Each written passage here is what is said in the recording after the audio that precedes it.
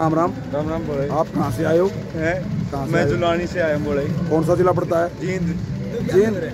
कौन सा स्टेट है? हरियाणा। नाम क्या आपका? शुभ नाम? प्रदीप कुमार। प्रदीप कुमार।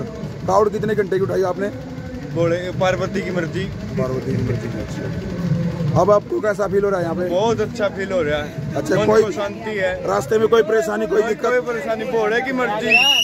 रास्ते में कोई दिक्कत कोई दिक्कत नहीं नहीं बम बोले